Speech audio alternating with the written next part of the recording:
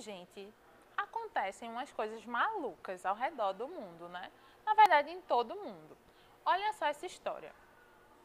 Após ficar sete horas dentro de um refrigerador de um necrotério, um homem foi encontrado vivo. Um homem indiano de 45 anos foi encontrado vivo dentro do refrigerador de um necrotério após passar sete horas lá dentro.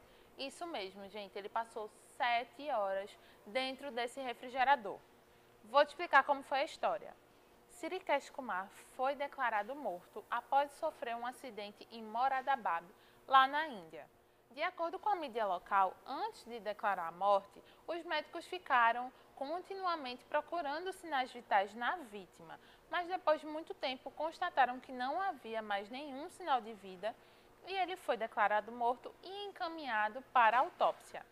Isso aconteceu na madrugada da quinta-feira, dia 18 de novembro.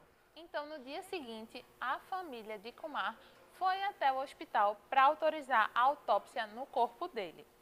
Daí a surpresa. A cunhada dele se deu conta de que o corpo, na verdade, estava se mexendo. Kumar estava agonizando, ainda vivo, sentindo dores, claro, mas ainda estava vivo. A situação do homem estava bem crítica por causa dos ferimentos que ele sofreu devido ao acidente. Daí então ele foi tirado do necrotério, né, do refrigerador do necrotério e foi até uma outra ala do hospital para ser atendido. Nesse momento ele está em coma e a família dele está inconformada e alega negligência médica. Já o hospital está dizendo que foi um verdadeiro milagre Kumar ter sido encontrado vivo. Bom, a gente espera que ele fique bem, que se recupere e que não haja mais mal entendidos como esse, porque veja só, uma vida poderia ter sido poupada, né, um pouco mais rápido, curada um pouco mais rápido se o diagnóstico correto tivesse sido feito. Você acompanha os desdobramentos dessa história lá no oviral.com.br.